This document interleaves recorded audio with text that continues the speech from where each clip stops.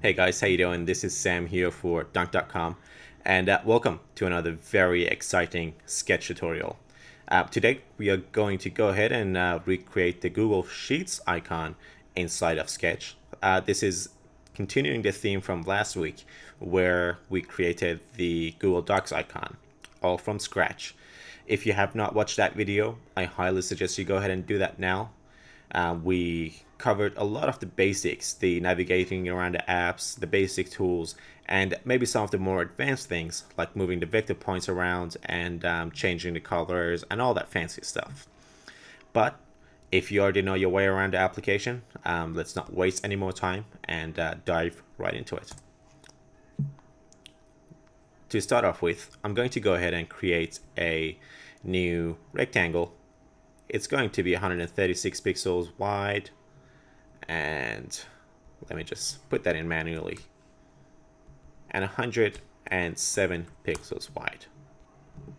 Perfect. I'm gonna toggle the border off. Let's go ahead and create um, a new triangle for our fold up on the right hand corner. And then again if you have no idea what we're doing here go ahead and watch uh, the last week's video we cover a lot of the same concepts, how to create the fold, how to move the vector points about, and all that fancy stuff. And I'm going to line this so it's um, on the top right hand corner of our background layer. Let's go ahead and do a bit of housekeeping. I'm gonna change the triangle to background, uh, the rectangle to background, and triangle to fold. I'm gonna enter to enter uh, the vector editing mode. I'm gonna move this point. So it's parallel with the bottom left hand corner. Enter to confirm and make sure that your width and height are still the same value and lock that in. So now it doesn't matter if I decide to change this to 50 it still keeps the same ratio for me. Um, I wouldn't want this because it's too much but uh, you can if you want to let's go ahead and uh, duplicate this and call it drop shadow. And flip it vertically and horizontally and uh, we have our drop shadow. May not look like a drop shadow yet but we are going to fix that. Now let's do something really fun here. What we did last week I created the background layer created a new vector point change it to straight mode and moved it further down enough until it looked like it was in the right place. But this week we are going to do something a bit more fun. Let's get rid of this vector point here. Um, this is going to help us have exact measurements and beautiful thing about Sketch is that the X and the Y axes take basic mathematical operations. And this is how we can put that to our advantage. Create the new vector point, move it to the top right hand corner of your background layer. And on the y-axis, we know that our fold layer is 24 pixels tall. So we can say plus 24. And that moves our newly created vector point exactly to the bottom right hand corner of our fold layer.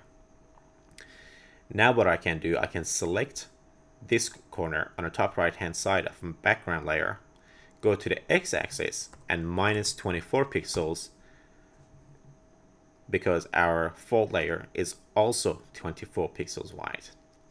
And um, this will help you keep a very clean design.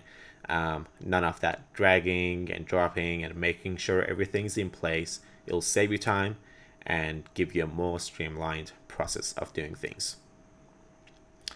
Now we're going to create the grid in the middle. Um, I don't really like that grid, so I'm going to um, create it my own way um, with uh, slightly different dimensions.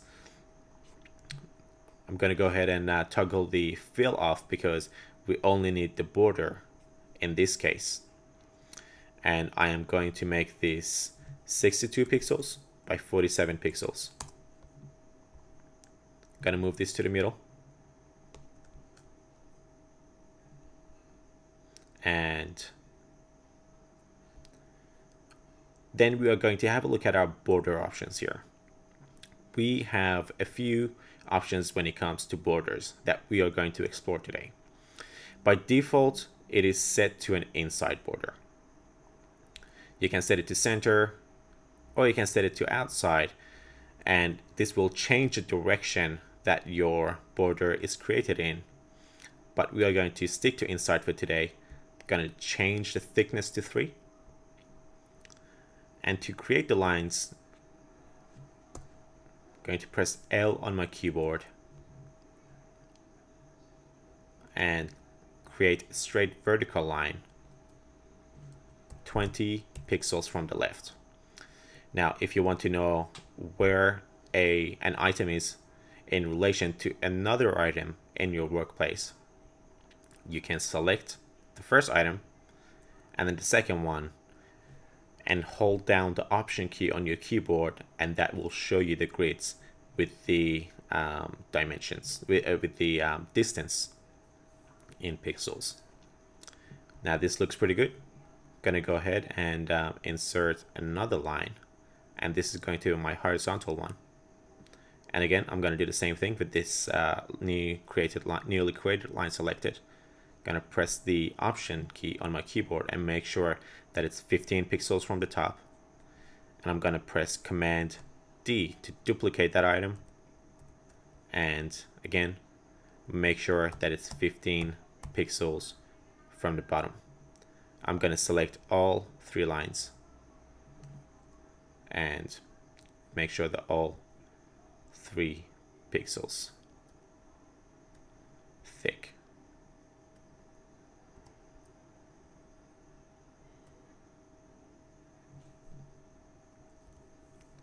This looks great.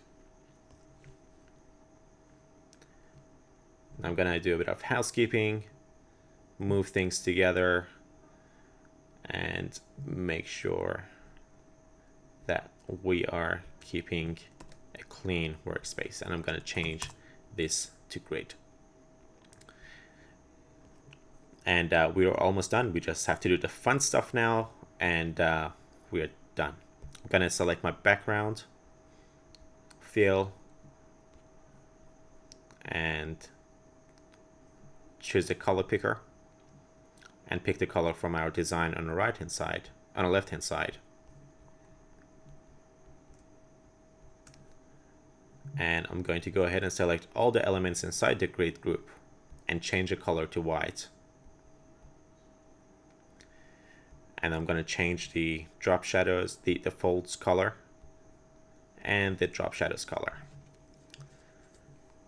And this is great and this works, but it may not be the most suitable approach for the long term. And here's why. Let's say I want to go ahead and change the background color to a lighter color, maybe a totally different color. And you can see that I have to go in and manually change all those colors for the uh, fold and the drop shadow. And that can be so much work and it's just so clunky. But here's what we're going to do. We are going to let the background color pass through the fold and the drop shadow so to do that let's select our fold layer and change the color to an absolute white and I'm going to select the drop shadow and change it to an absolute black. Now this looks horrible, but bear with me for a moment. Then we're going to go in and change the opacity of both of these two to 40%. And you can see how that gives us a beautiful effect and um, it's like we are mixing the white with the green background and we're mixing the black with the green background. And if I go ahead and change the background color now, you can see that these colors adjust as we change our color. And this can be a very useful thing in design because you don't have to change too many variables when you make one slight change to your background. Now we may have to fine tune it a little bit, make sure our um, drop shadow isn't as intense and maybe I want my fold to be a bit more strong. So 45% seems to work for the fold and 35% seems to work for my drop shadow. And I'm going to go ahead and make sure my grid is centered with my background. So I'm going to select grid and select background.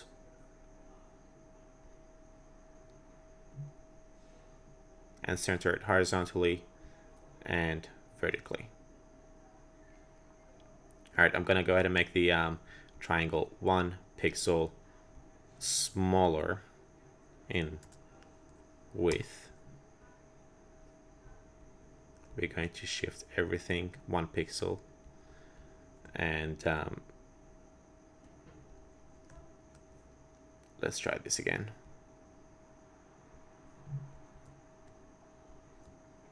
Twenty pix, twenty-two pixels, and twenty-two pixels, and um,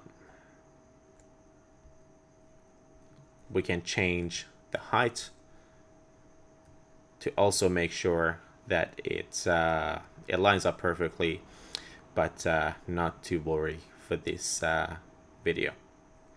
Uh, one more change that I'd like to make is uh, the, the, the ends look a bit too sharp for me. So I'm going to select grid, expand, select my rectangle, and just change the border radius to one pixel. And uh, that is it. Um, you have recreated the Google Sheets icon inside of Sketch. Now, if you enjoyed this tutorial, uh, please be sure to subscribe to our channel. Um, it would mean a lot. And um, if you have any questions or comments, be sure to um, just comment below and uh, let us know what you thought. Thanks for watching.